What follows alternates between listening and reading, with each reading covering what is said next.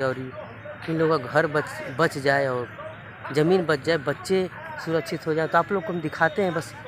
तो दोस्तों, आप लोग जैसा कि देख सकते हैं कि जो गरीब जनता है, जो चाहे हम हुए चाहे जो आप लोग ये पब्लिक देख सकते हैं, पीछे जो बैठ के अभी इतने धूप में टाइम हो रहा है, एक लगभग बज रहा है और ये सब प्रदर्शन दे रहे हैं सरकार के, सरकार से गुहार लगा रहे हैं कि हमारी घर पे बुलडोज़र और ज़मीन हमारी न छीनी जाए। और ये लोग इतने सुबह से ही आके धरना प्रदर्शन दे चुके धरना प्रदर्शन और हम भी देख सकते हैं कि क्या करें, हम वैसा कुछ वीडियो बना नहीं पा रहे हैं लेकिन क्या करें, हम भी यहाँ पे आए हैं।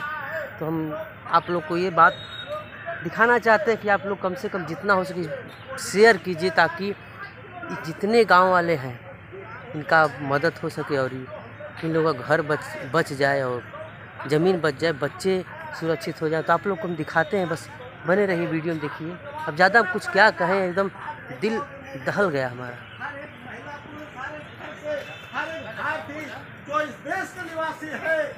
बस बैक कैमरे से दिखाते बने रहिए।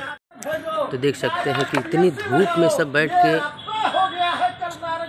कितनी गर्मी है, एक बज रहा है और आप लोग देख सकते हैं। महिलाएँ बिना खाए पिए आई हैं सुबह छः बजे का ट्रेन होता है। आई हैं अपना धरना प्रदर्शन देने सरकार से गुहार लगाने वो कामयाब नहीं होंगे। आप हमें संगठित होकर के पूरे ज़िले में आप हम संगठित होकर के चाहे उदाहरण के ऊपर आएँगे करेंगे हमें संगठित होकर के शांत पूर्वक ढंग से अपनी आवाज़ को उठाना है और अपने अधिकार के तहत फंसे हुए हैं। इस तीन जुलाई 2020 के संशोधनादेश के तहत फंसे हुए हैं। ये फंसे हुए हैं वन विधेयक 2006 के तहत। ये सर्वे करा योगी सरकार कि पीढ़ियों से जो लोग बसे हुए हैं वो तीन पीढ़ी किसान साबित करने के लिए तैयार है। उनका अधिकार बनता है। शासनादेश चालू कराए। क्यों नहीं नौरंग में सर्वे हुआ? इसके ज़िम्मेदारी कौन है? यहाँ का जिम्मेदार है डीएम।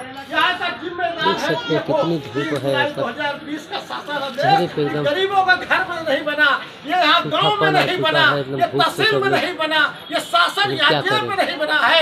अगर तीन जुलाई ऐसे कर 2020 रही है, बना है तो योगी सरकार के कैबिनेट में पास किया गया है। तीन जुलाई 2020 के तहत आपने नारे में सर्वे क्यों नहीं कराया? उसमें साफ़ लिखा हुआ तीन जुलाई 2020